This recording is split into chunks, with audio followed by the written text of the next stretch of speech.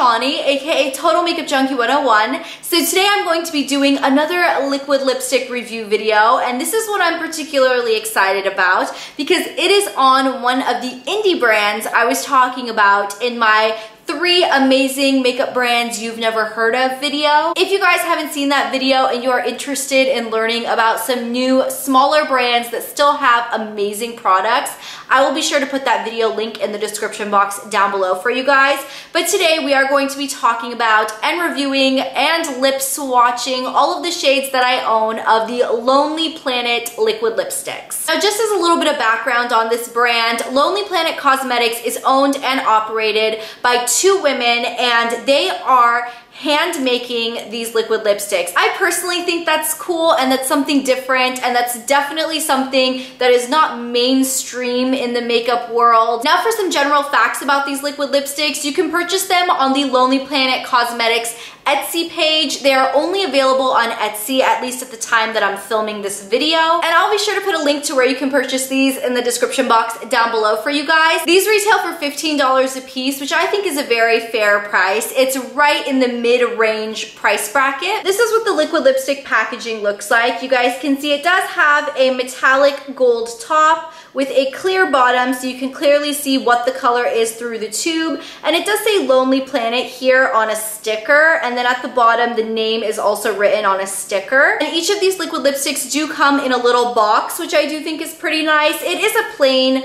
black box and everything here is put on with stickers but I do like the fact that it says all of the ingredients that are in the product itself and it does say the weight and everything like that. The applicator on the liquid lipstick is a pretty typical doe foot applicator and these have a very very light almost like a butter toffee scent to them. It is really nice, but it's very, very faint. Now to jump into the reason why I was particularly excited to do this review video because I love this liquid lipstick formula so much that it has been bumped up to my number one most favoritist of favorite liquid lipstick. The formula on these is incredible. I feel like even incredible is like an understatement. They are so, so nice. Lonely Planet does describe these as a silky liquid lipstick and I would say that is exactly correct. These apply like a thin mousse on the lips and they do take a couple of minutes to dry down.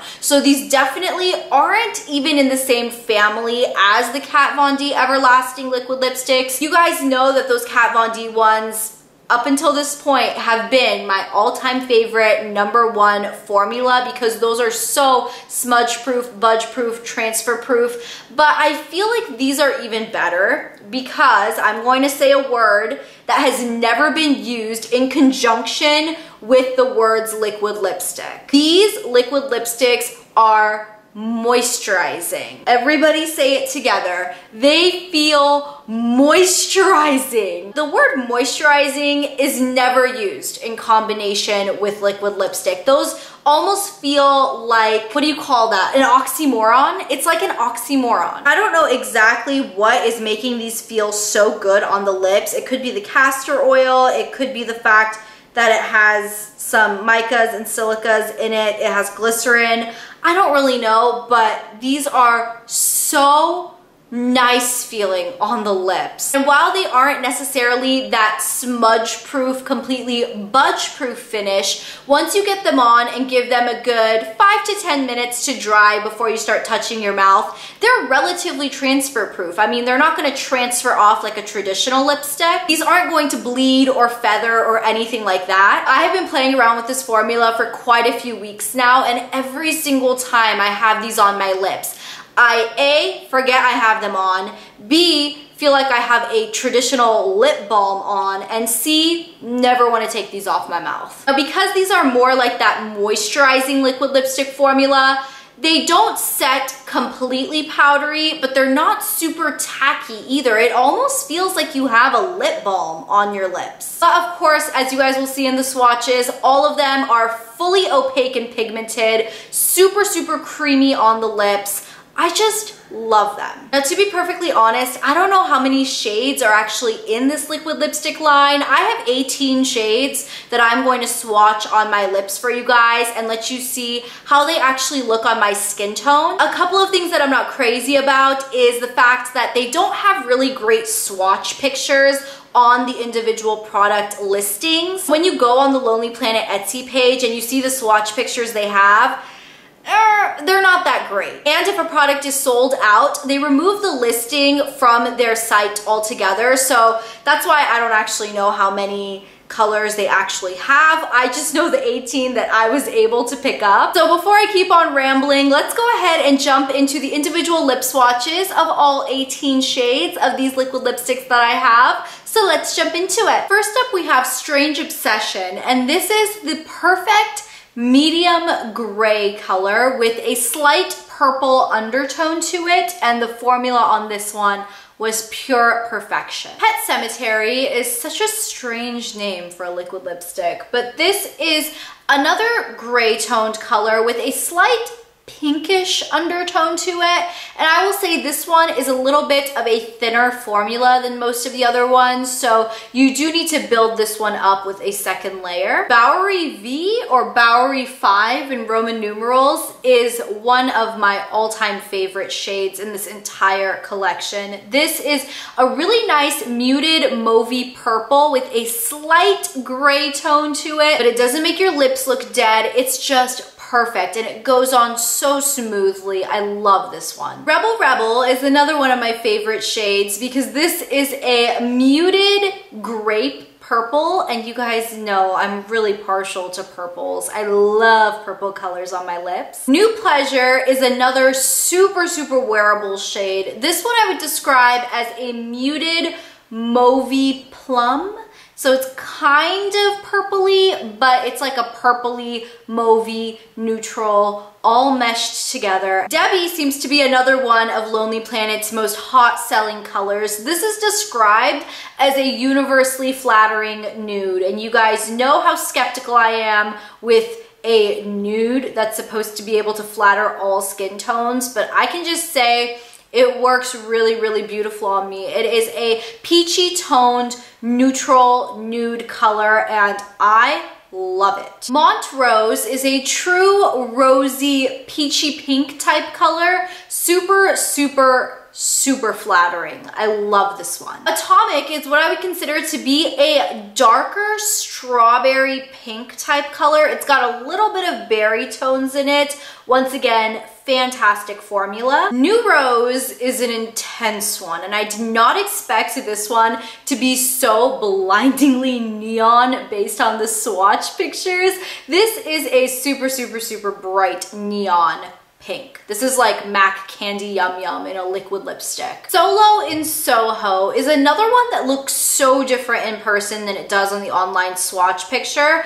This one is a true medium neutral red. It's just that perfect pinup girl red. Lexington kind of looks like a poopy brown color. It's like a medium brown with like an orangey undertone to it. I personally kind of like it. It's very, very unique and it's got a fantastic formula. Chatterbox is the only metallic color that I think Lonely Planet has. And I don't know if this is from a limited edition collection or something because it does say disco lips on the packaging of this one. But this is a very unique metallic copper penny type color. Brick City is another one of my personal favorite shades because this is that perfect muted reddish orange color. It's not too red, it's not too orange. I'm sorry my application on these is getting a little out of hand now. We're almost done. We are powering through this. Next up we have Untouchable and this one is a slightly darker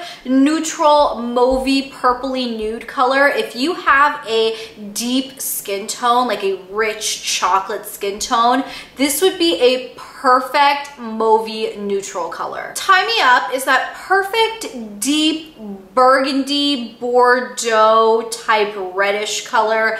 I really, really love this because it's dark without being super vampy. It's like dark and deep and sultry. Sabel is a dark chocolate brown color, but this one is almost more like a slightly green toned brown. It looks like a dirty brown, like a dirty mud color. Starr is another chocolate brown color. Now between this one and the previous one, I definitely preferred this one. It is a beautiful, super, super creamy and opaque, true chocolate brown and I stinking love it. So we've reached that point in the swatches where I don't know if my lips are bleeding or just really, really stained. So let's finish this up with the last color. This one is called Running Riot and it is the deepest vampiest, most beautiful plummy purple color with a strong brown undertone. So once again, it is a unique color. I can't think of anything else that I have like this in my collection. So I hope those lip swatches were helpful to you guys and it helped in making your decision on which shades you want to pick up for yourself. In terms of longevity on this formula, I was actually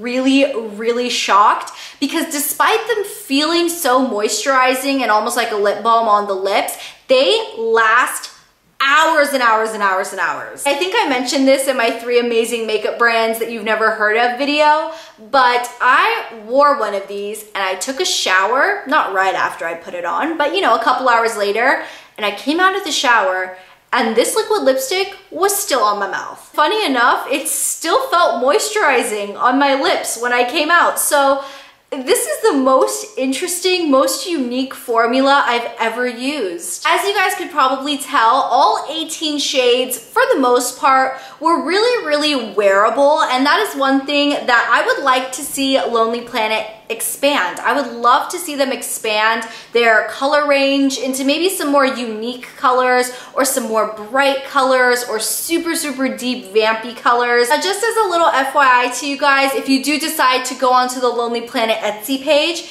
if you guys see their new and limited edition Valentine's Day collection, snatch it up. I haven't even had a chance to open these yet and I didn't want to swatch them only because my lips were already dying after the 18 that I already swatched and these are limited edition and they're only available till the end of February. And if you check out Lonely Planet's Instagram page, which I will put a link to in the description box down below for you, they do have really, really great swatches of all five of these limited edition shades on their Instagram. So Anyways, I hope you guys enjoyed this lip swatch and review video. I'm so completely over the moon obsessed with this formula. I don't know if any other liquid lipstick formula can even compare because these feel so amazing on the lips and they still deliver the color payoff. They still have the lasting power. If you guys are curious on my personal favorite shades, I will be sure to write those in the description box down below for you guys so you guys have a little list to reference if you decide to purchase. Thank you so much for taking the time to watch my video and for your love and support. And I will talk to you guys in my next video